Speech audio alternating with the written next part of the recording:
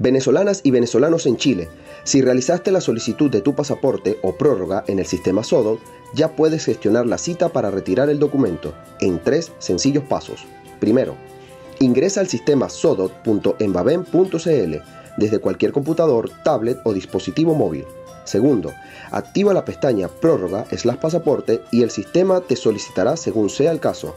Adultos, niñas, niños o adolescentes cedulados número de cédula y fecha de nacimiento. Niñas, niños o adolescentes no cedulados, nombres y apellidos completos y la fecha de nacimiento. Tercero, una vez que el sistema te indique la disponibilidad del pasaporte o prórroga, escoge en el calendario entre las fechas disponibles la que mejor te convenga para el retiro presencial de documento durante el operativo y presiona guardar.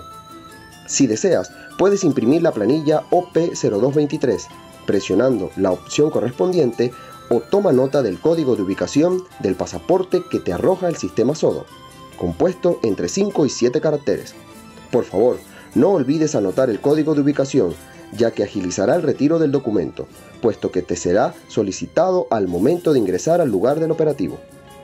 De olvidar el código de ubicación, puedes ingresar nuevamente al SODO y realizar la consulta e imprimir la planilla o tomar nota del código.